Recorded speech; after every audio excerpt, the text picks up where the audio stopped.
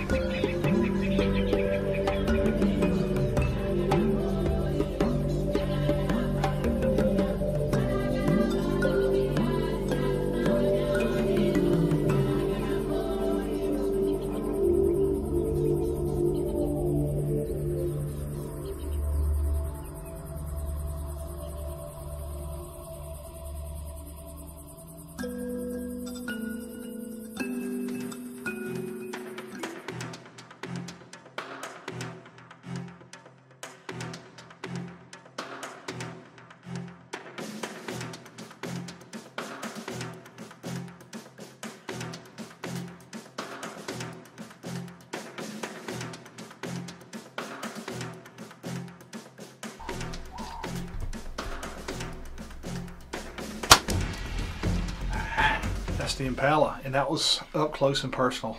I mean, I thought he was just gonna walk in the blind. I'm for real.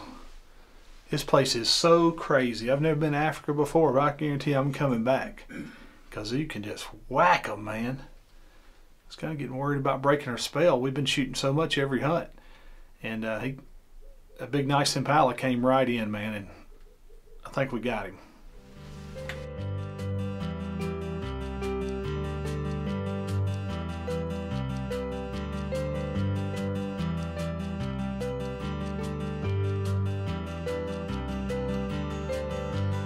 What a nice shot.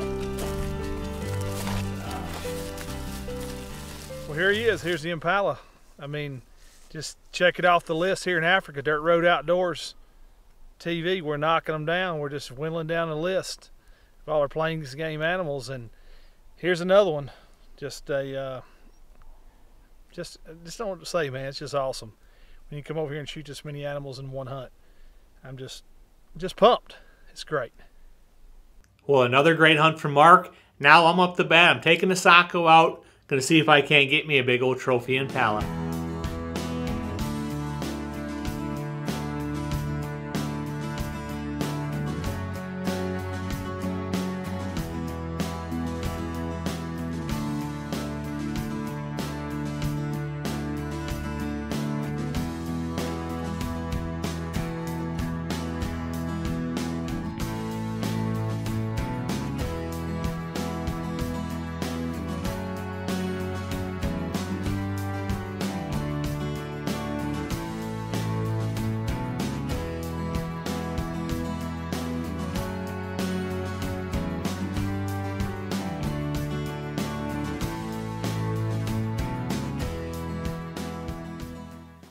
I couldn't imagine being able to go anywhere else in the world and see as many animals as you see right down here at Comre Safaris.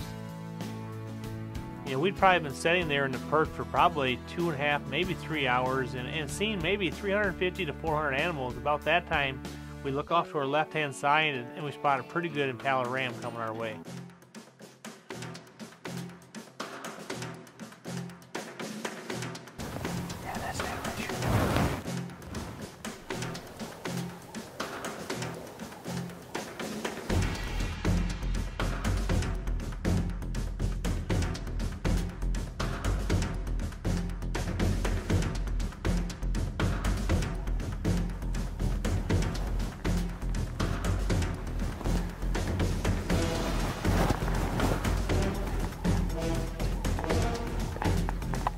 Take it you're ready. Alright, come on.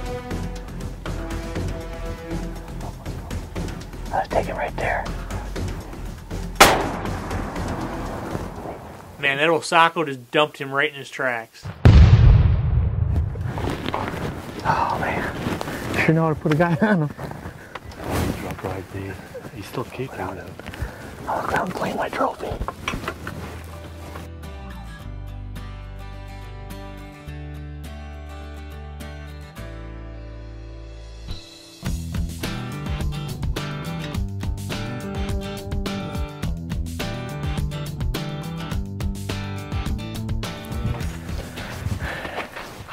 Right on that shoulder.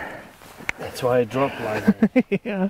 Look at that. That is a beauty. Down here in Limpopo, South Africa, and this is already my fifth animal. Polly, you know how to put a guy on him. You're welcome.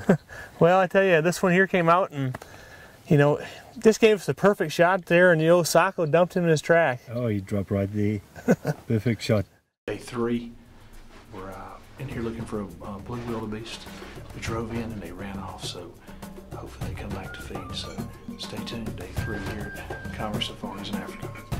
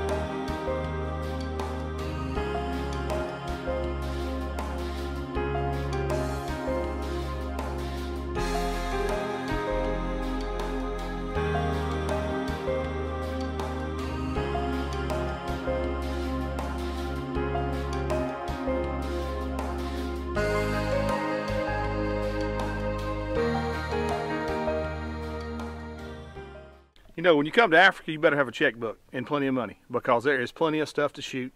And uh, my list wasn't long enough. It's like Santa Claus. I mean, you just keep making it and making it and making it.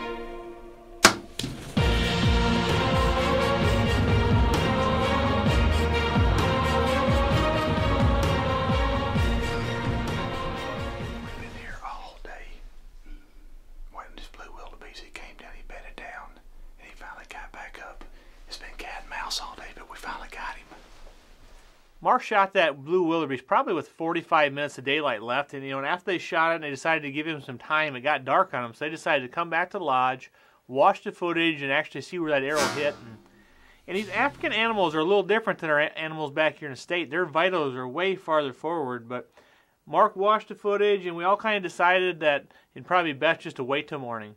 You know, my old saying is, you know, uh, when in doubt, back out, and that's what we did. And put the old tracker on him the next morning, and man, he went right to him. Here at Comre Safaris, you get the best trackers in the world. We shot the wildebeest. We let him lay, and we're back in here again. Uh, so let's see what we can come up with. They, they got a good track on this wildebeest.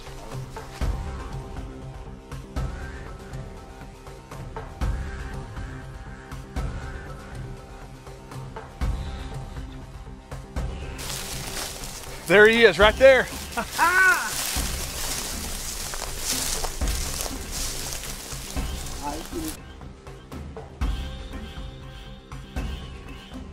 But here he is. This was a heck of an animal to knock down with a bow and arrow. I mean, we had to let him lay all night long to make sure we'd find him, and uh, we hit him in the lungs. And uh, these trackers here at Comre Safaris are incredible.